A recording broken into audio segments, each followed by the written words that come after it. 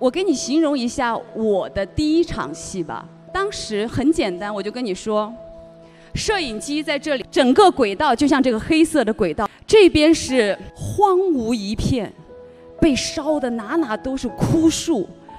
然后我走到这个一个荒芜的一个地方，按理来说我会有一种各种各样的表情，但是我不知道要找机位。因为这边很正常，全是人，没有荒芜啊。所以当导演一喊开始，我一直这样，一直这样，一直这样，我就没有看过这边。后来摄影师咔就开始骂我：“你在干嘛？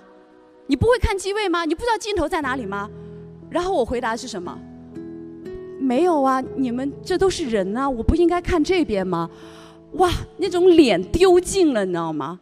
大家就觉得这是哪里找来的傻子？我觉得最近可能真的是大家压力太大了，大家不停的在给这些任务，我们现在先放下没关系，但是该坚持的内心一定要坚持住。打垮的是你自己，打垮自己，没有人打垮你，好不好？